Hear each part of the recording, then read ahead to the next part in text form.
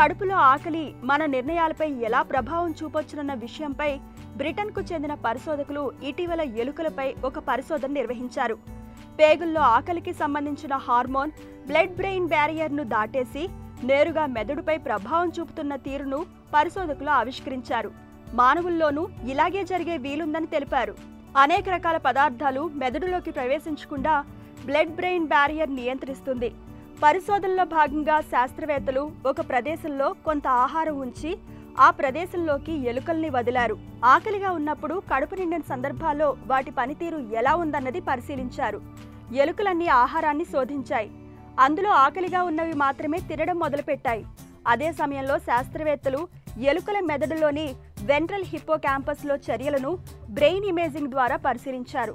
నిర్ణయాలను తీసుకోవడంలో ventral hippo campus కీలక పాత్ర పోషిస్తుంది.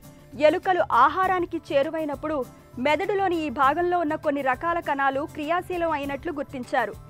ఈ న్యూరల్ చర్యలు ఆహారాన్ని తిననివ్వకుండా అడ్డుకున్నాయని తేల్చారు.